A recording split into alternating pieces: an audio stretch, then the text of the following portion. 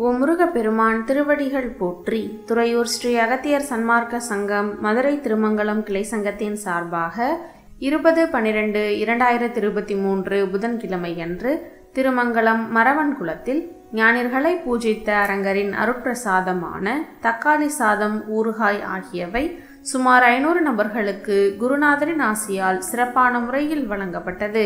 இன்றைய உபயதாரர் ஏ. காசி சரோஜினி குடும்பத்தினர்கள் ராஜேந்திர குமார் குடும்பத்தினர்கள் சார்பாக வழங்கப்பட்டது மற்றும் நண்பர்கள் தொண்டர்கள் தொண்டு செய்தவர்கள்.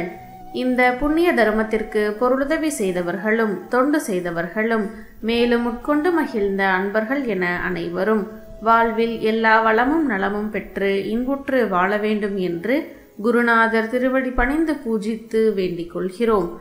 மேலும் மக்களாகிய நீங்களும் இது போன்ற தான தர்ம பணிகளில் பங்கு கொள்ள விரும்பினால் தொடர்புக்கு திரு. செந்தில்குமரன் அலைபேசி எண் எட்டு எட்டு எட்டு மூன்று இரண்டு மூன்று ஒன்று ஒன்று ஒன்று மூன்று மற்றும் எட்டு எட்டு இரண்டு ஐந்து ஏழு இரண்டு மூன்று மூன்று இரண்டு நான்கு. நன்றி வணக்கம்.